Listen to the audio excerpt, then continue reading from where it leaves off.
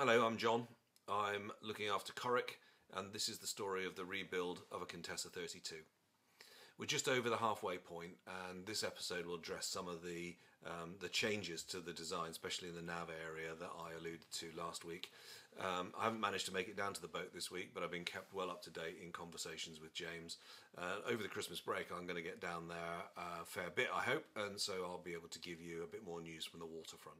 One of the things I said in um, one of the earlier episodes that dealt with the nav gear was that it was one of the things that was likely to change the most rapidly, and that's that's really proved to be true as we've made a couple of um, a couple of significant changes.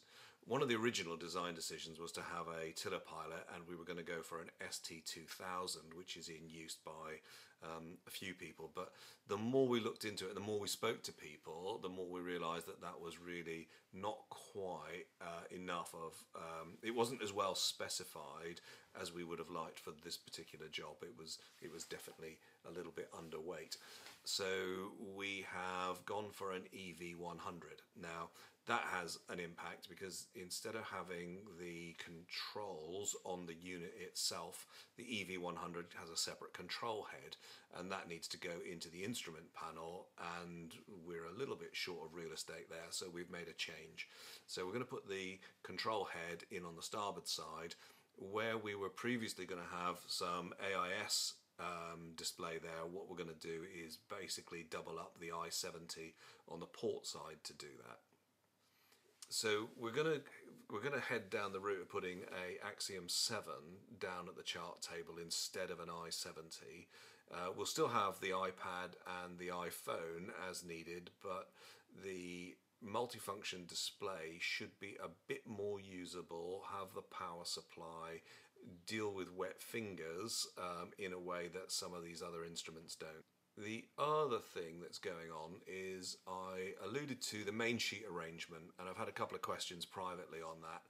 Um, the one that we're actually going to fit is known as a 3 to 1, 6 to 1. The reason that I like this, and I've used it before, is that it is very simple, it involves less rope, it's really obvious what happens. Um, with some systems with tweakers, um, inexperienced users aren't sure which rope to go for and in the moment of when it's busy that can be not a great thing. But with this if you want a coarse control of the main sheet position you grab both ropes and pull or let the oaries out. Uh, and if you need fine control uh, then you just manipulate one of the ropes. It's it's fairly straightforward. It doesn't have the extra tweaker. And uh, crucially um, with this design what I want to do is have the block right at the very tail end of the boom so it's well clear of head height um, and uh, I don't want anything swinging in the middle. Earlier in the week the mast arrived so that's currently sitting in the rigger's shed.